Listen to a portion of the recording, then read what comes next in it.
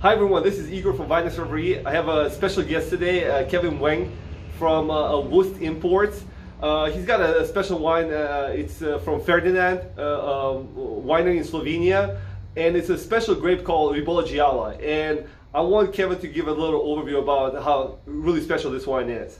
Yeah, what's fun about wine to me is there are all these different varietals that produce just a ton of different flavor profiles and experiences you can enjoy with wine. And you know, people think, well, what's my go-to white wine? You know, Chardonnay, Sauvignon Blanc. Those are great. You know, there's nothing wrong with them at all. But it's fun to venture into other varietals, and one of the more interesting in northeastern Italy, which also extends into Slovenia, is Ribolla. It is this big, round, yellow grape. And Ribolla sounds a little exotic.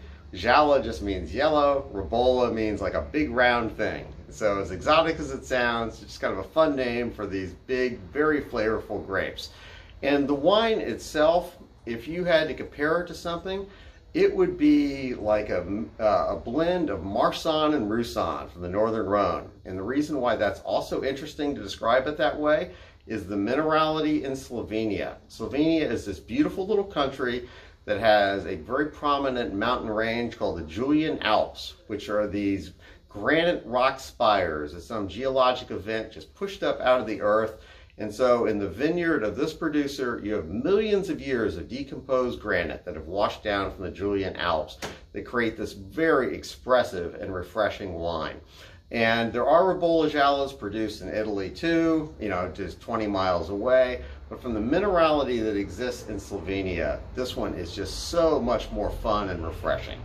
So thank you for listening to us talk about Ribolla Gialla, and it's something that would be helpful to have another fun experience with trying a new wine. Thank you, Kevin. It's always fun to listen uh, to your overviews. And thank you, guys. see you next time.